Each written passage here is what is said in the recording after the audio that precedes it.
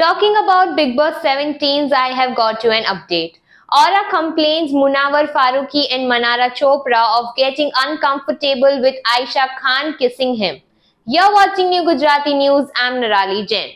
Bigg Boss 17's wildcard entry Ayesha Khan's presence on the show has created quite a stir in a house.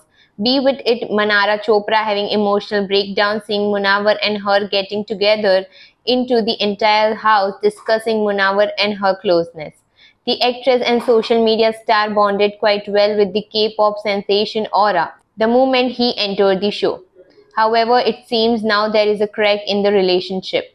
In the latest episode, Aoora was seen complaining to Munawar about feeling discomfort because of Ayesha Khan. He confided in him that he did not feel comfortable when Ayesha kissed him. Munawar heard and assured him that he will ask Ayesha to be more careful around him from the next time. He also told Aoora that Ayesha did not have any ill intentions for him. Later, Munawar set Ayesha down and politely made her understand how Aoora was uncomfortable with her kiss. He asked her to be careful and Ayesha also understood it.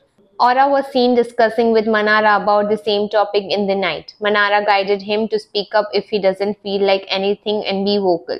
She also hinted to him that he can bring these issues during the task and nomination. Thank you for watching New Gujarati News. Stay tuned for more such videos.